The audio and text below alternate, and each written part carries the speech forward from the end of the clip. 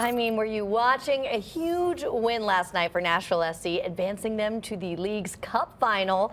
The team will try for its very first trophy as an MLS club this Saturday night. Nashville SC will face Lionel Messi and Inter Miami at Geodis Park. And roaring, yeah, you hear them there, roaring cheers from Geodis Park last night as the boys in gold triumphed over CF Monterrey in the semifinals. Fafa Picault secured the win. Nashville SC won 2 to zip. Saturday's match is set for 8 p.m. at Geodis Park. This will be the first match for Messi in Nashville since joining Inter Miami last month. Season ticket members, an exclusive pre-sale window opens for you later this morning, so keep a check on your email.